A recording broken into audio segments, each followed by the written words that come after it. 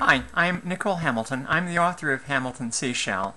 It's a complete recreation of the Unix C Shell and most of the utilities you'd see on a Unix or a Linux box, uh, all completely from scratch uh, on Windows. And so what we're going to look at here is the product running. It comes up as a nice pretty blue window, and but you can set, of course, the colors to be anything you like. I'm going to uh, go into a directory here where I know I have some uh, source. This happens to be a source for just the various utilities that come with it. And of course, like you might in uh, the command.exe command processor, you could use things like dir and so on. And all of these things still work. But you also get the various kinds of commands you'd accept, expect on a Unix machine, like ls, which comes up in a little bit different format, uses color, collects together the directories in bright, and uses green to mark the uh, any files that are marked with the system bit, which I've just simply used to make my makefile stand out and make it easier for me. Um, we can do things like all of the utilities, of course, have online help. Here's the uh, help for the uh, ls utility and uh, you can get a long format here.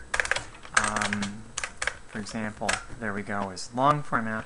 If you, uh, or even even longer format, uh, where it's uh, now got, we can see the difference here, where it's an even longer format date. Uh, we can, we have aliases, for example, here's an alias LL for doing that long format. We can we have another alias here for running the more filter um, where it comes up in interactive mode starting the, clearing the screen first because it and, and, staying there even if it's a short uh, amount of data. We might, for example, type LL into MI and, and that's what you see and we can arrow up and down through it. We can do things like, um, here's an alias for the fgrep. Um, F is uh, fgrep, find first file, and we're going to find all of the occurrences of find first file in the various C files. If we simply wanted uh, just a list of them, we could uh, do that. I'm going to use the history function here. Bang asterisk means all of the arguments of the previous command. And that just gives me a, a list of them. And so, for example, we might uh, then, um, let's go ahead and, and word count just the output. Bang Bang says take the entire previous command, this is the searching for find first in all of the .c's, paste it in here, and the back quotes on either side say run what's inside of there, and paste the output, that is this list right here, back on the command line as arguments to word count. And there you see that. We could um, alternately uh, say, let's pick up the last word of the last command, which now is that whole quoted, back-quoted string, and pass that instead as an argument to mi, the alias for the more filter, and now we're bumping from one to another there. Um, we can turn on line numbers, we can turn them off, uh, we can go into a C language mode, you can see the tabs and character turns, uh, we can put it in a binary mode where you can see those characters in hex, or we can put it in uh, a mode where you can see them as, as control characters. Um, you see there is a help prompt here at the bottom if you actually want to know how to do these things. There is there it is. There's the toggling line numbers, toggling C language mode, toggling binary mode, and so on. we can, of course, also do calculations. Um, for example, 7 divided by 3, or 7 integer division by 3, or 7 remainder 3. Uh, we can write combine uh, loops uh, with uh, uh, these calculations. So for example, let's set sum equal to 0 and for i equals 1 to 10 do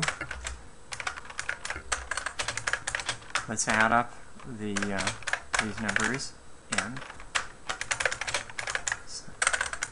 sum and there's the value.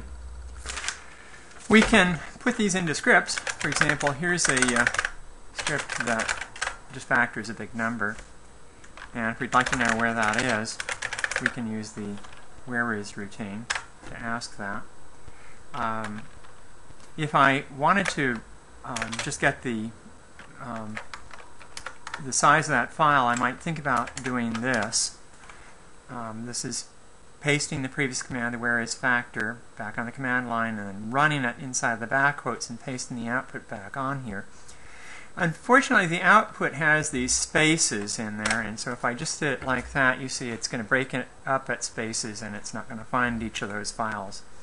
But what I can do is something a little bit uh, more interesting. I can, uh, it's a feature just in this C shell. I can use double backticks, and now when I do it, it uh, pastes the whole that whole output as one big word, as one line on here, and there it is. There's the factor. I can go browse that uh, that file. And there it is. Uh, you can see that we have procedures. They can be recursive. Um, this was uh, uh using uh, a loop here to take every number from 2 up to the square root of the number we're trying to factor, looking for numbers that divide evenly with no remainder into the number we're trying to factor. If it finds one, it prints it out and then factors whatever's left. This is a self-loading procedure because the first time you type factor something, the C shell doesn't know how to do it. So it goes out and it finds this script, it begins reading it, reads that definition of the factor procedure, and then the factor procedure is invoked right afterwards. The next time you say factor something, it's going to know how to do that, and it will be a little bit faster. With this one, the script is a little small, so we probably wouldn't be able to see the effect. But let's uh, do something where we might see it.